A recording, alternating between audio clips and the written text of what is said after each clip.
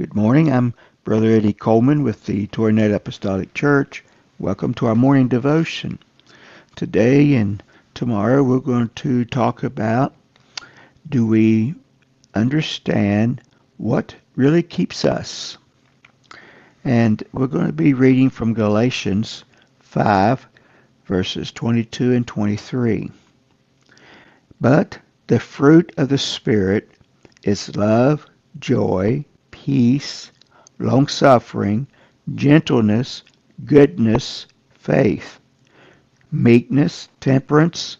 Against such there is no law. Ephesians 5 9 through 10. For the fruit of the Spirit is in all goodness and righteousness and truth, proving what is acceptable unto the Lord. Jesus has told us that he is the vine and we are the branches. The branches draw their life from the vine, not vice versa. Sometimes we get the cart before the horse. It's very important that one go through the steps of salvation.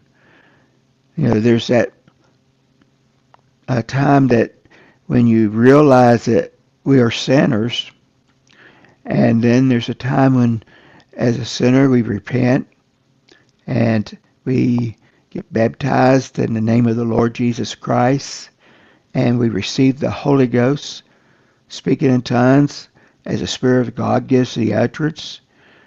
Then that that we are filled with the Spirit of the Lord, well, says the fruit of the Spirit. In other words, these are the many things that help keep us.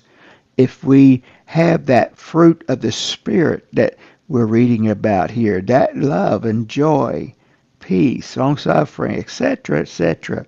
You know, just as uh, the branch draws its life from the vine, so too must we draw our life directly from Jesus. Jesus will release his divine life directly into us through the Holy Ghost in the exact same way that the vine will release the life of the tree into the branches. Now, if we take the, the first thing that he spoke about, that was love, if we had to rank all of the above fruit of the Spirit in order of possible importance, the quality of love would have to be number one, and this is why it may have been listed as the first fruit in the above verse. Here are some of the different definitions on what love is from in the Bible. And there are different dictionaries also and commentaries. Uh, one is unselfish concern for others, brotherly concern, the object of brotherly concern or affection, the self denying, self sacrificing, Christ like love, which is the foundation of all other graces unselfish, loyal concern for the well-being of another. Does these definitions sound like you or me? You know, there's something to think about, isn't it?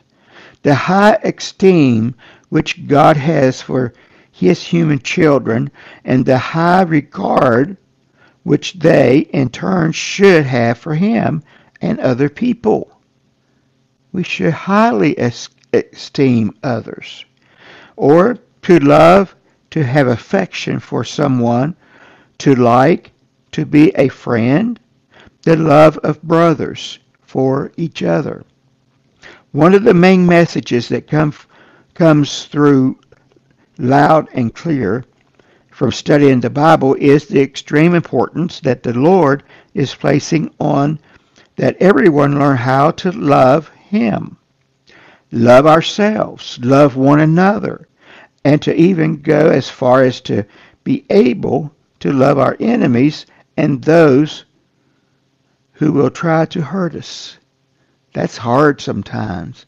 But if we're going to have that true love, which is produced by the Holy Ghost, the Spirit of the Lord. However, our abilities as fallen humans to love one another is very limited. This is why it's so important for each and every Christian to work very closely with the Holy Ghost to get this fruit worked up into the core of our personalities. It needs to be a part of us, who we are. It is only when the love of the Holy Ghost starts to flow and enter into our personalities can we even begin to love God, love ourselves, and love the one another to the degree that the Lord would have us to love. And then we can really see what love is. This quality should be listed as the number one quality you should really attempt to put on into a, the core of your soul and personality. You can be the greatest man of God and have some of the greatest gifts of God flowing through you. But if you are not walking with all of this in the spirit of love and humility, it will have been for nothing. Let us pray. Lord, we thank you for such an opportunity to know you and this love, this true love, to really have it in our hearts, to have a concern to reach out for others. And it's unselfishness.